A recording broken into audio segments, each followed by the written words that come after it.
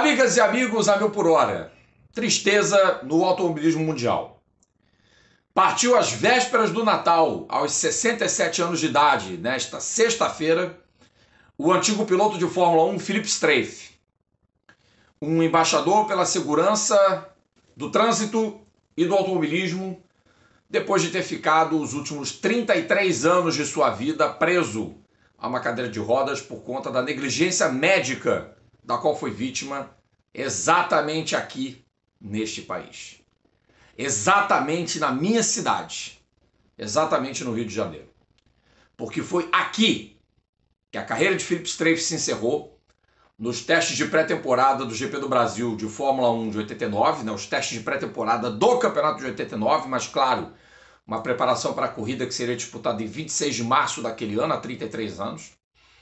E a posteriori, acabou gerando toda uma série de situações que culminariam com o fim da prova de Fórmula 1 no Rio e com o sucateamento do Autódromo de Jacarepaguá por um longo período.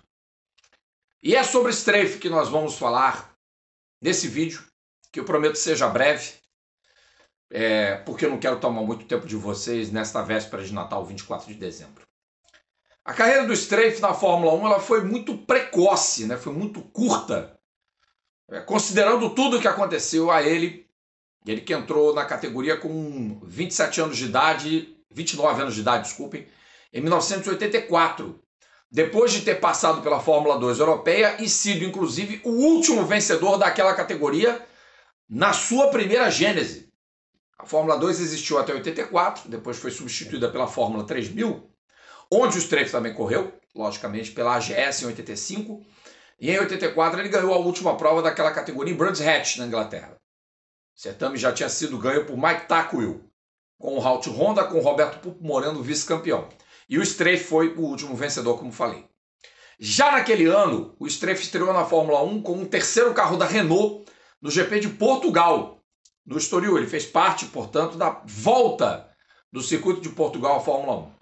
E depois ele fez toda a temporada da Fórmula 3000 em 85 e seria lembrado pela Ligier para suceder André de Césares e depois fazer o GP da África do Sul pela Tyrrell, porque o regime de apartheid ainda era vigente naquele país e algumas equipes boicotaram o Grande Prêmio da França. E Ligier era amigo pessoal de François Mitterrand que ele dava patrocínios estatais. Então, a Ligier não foi para Kyalami e o Strafe foi pela Tyrrell é, como companheiro de equipe do Martin Brundle, o que aconteceria para a temporada de 86, mas só aconteceu de o Strafe ser piloto da Tyrrell em 86, porque em Adelaide, no único pódio que ele conquistou na carreira em 85, na última etapa do campeonato, no GP da Austrália, ele bateu no Lafitte destruiu o carro. Lafitte pedindo: você não pode me passar, tenha paciência, tenha calma. O Strafe foi lá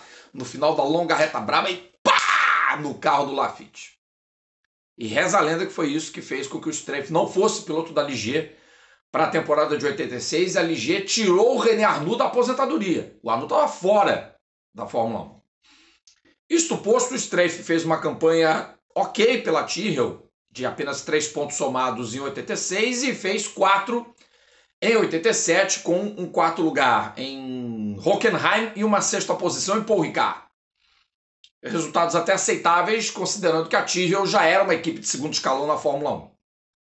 E em 88, o Strafe permanece na categoria porque o Roberto Pupo Moreno, que tinha feito o único ponto da AGS com aquela trapizonga que todo mundo sabe, que todo mundo já ouviu falar, que é o JH22, que era um carro montado num chassi de um Renault de 83 com fundo de madeira compensada.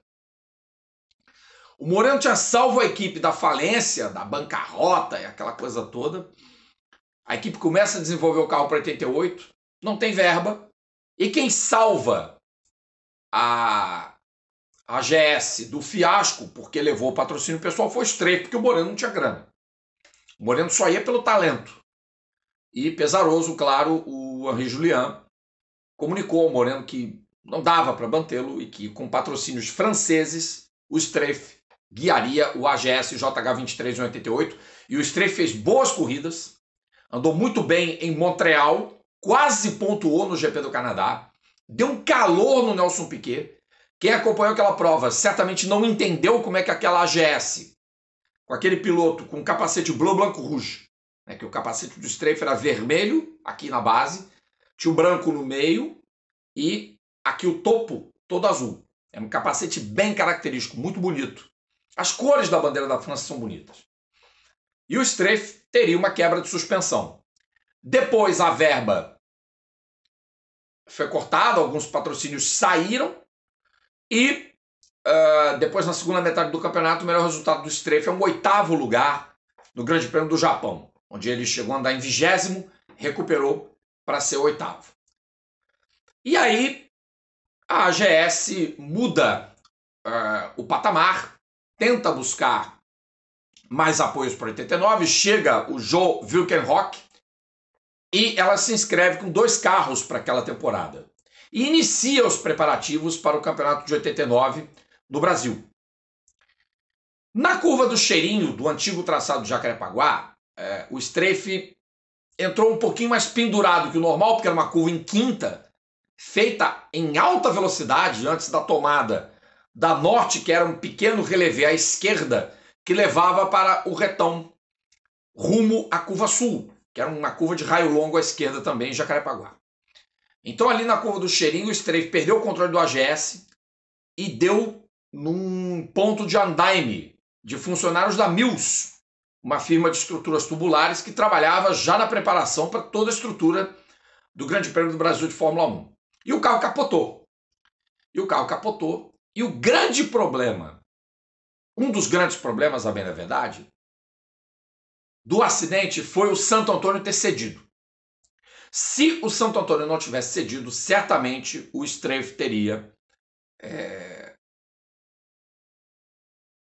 tido muito menos lesões do que teve.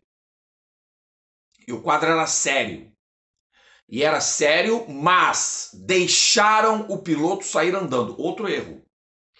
E um terceiro erro foi todo o processo que incluiu o exame de tomografia, que não havia um aparelho de tomografia no ambulatório do Autódromo do Rio de Janeiro, não estava equipado para tal.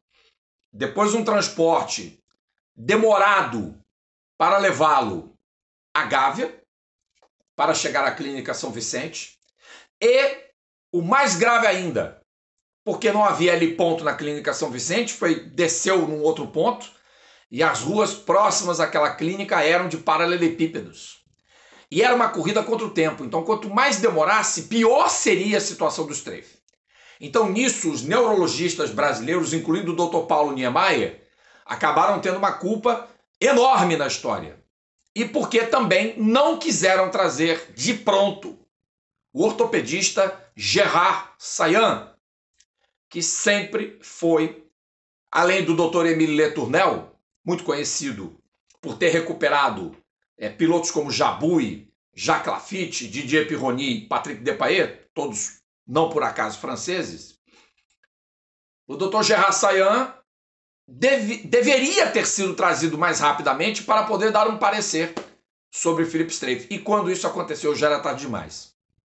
E quando Strafe é levado para a França, para o Hospital eh, des Invalides, infelizmente é constatado que ele não tem mais a coordenação motora suficiente da cintura para baixo. E o pequeno Thibaut, que era o filho de Philippe com René Strafe, viu o pai, que faleceu nesta sexta-feira, é, ficar preso a uma cadeira de rodas. Mas o Strafe, ele não perdeu a, a, a garra, não perdeu o espírito de vontade e a luta para fazer do automobilismo um esporte mais seguro e também as campanhas de segurança no trânsito para reduzir os riscos de acidentes mais graves e dar, de certa forma, eh, uma segurança passiva para passageiros, para motoristas, enfim, campanhas de conscientização de segurança no trânsito e também de segurança no automobilismo. O Philip Stray foi um ativo defensor desses movimentos ao longo destes últimos 33 anos, desde o grave acidente de 89. E ele também organizou, para quem não sabe, o Masters de kart no Palais nos quais o Ayrton Senna nos deliciou, junto ao Prost e a tantos outros pilotos que também passaram pelo kart, kartistas de, de boa cepa e pilotos do passado, como o próprio André de César, que foi campeão mundial de kart, Ricardo Patrese, enfim, a, a turma já da Fórmula 1, mas que sabia do riscado com os micromonopostos. E onde eu quero chegar na história do GP do Brasil quase ter sido cancelado? Porque é, o Rio de Janeiro ficou visado, logicamente, por conta do incidente do Philip Strafe. E havia na prefeitura da cidade, naquela época, um sujeito chamado Marcelo Alencar, que atendia pela alcunha de Velho Barreiro. Eu não tenho nada contra a bebida alcoólica. Pelo contrário, acho que se você beber, não dirija, se você dirigir, não beba e beba com moderação. É, é o meu caso, claro, já exagerei, quem nunca? Mas o Marcelo Alencar era conhecido por essa alcunha. E Velho Barreiro resolveu encrespar. E aí o Rio de Janeiro começou a perder a Fórmula 1. E o Brasil, por tabela, quase perde a Fórmula 1. Não, não sei se é Thomas ou se é Bernie Eccleston, que ligam para Piero Gância e dizem: Senhor Gância, o Grande Prêmio do Brasil está cancelado. Não ia fazer parte do calendário de 1990. Interlagos, com sua pista de 8 km, não servia mais para a Fórmula 1. Era uma grande pista, mas precisaria de reformas. E aí quem banca a volta de Interlagos à Fórmula 1 é a então prefeita recém-eleita Luiz Erundina, que consegue com uma grana da Shell e a cessão de terrenos para a implantação de postos da marca da companhia petrolífera com sede na Holanda, terrenos doados pela Prefeitura de São Paulo em troca do pagamento da reforma do Autódromo de São Paulo, do Autódromo José Carlos Patti pela Shell. E assim foi. E foi assim que o Brasil foi salvo, e é assim que o Brasil continuou no calendário da Fórmula 1. Mas o Rio, lamentavelmente, saiu de cena da categoria máxima até depois a gente sabe que teria Fórmula Indy, MotoGP, por conta, primeiro do César Maia, que o César Maia estava de bem com o automobilismo. Depois o sucessor dele, Luiz Paulo Conde, que era um, um herdeiro político de César Maia. Mas depois o César Maia e o Conde trocaram de mal.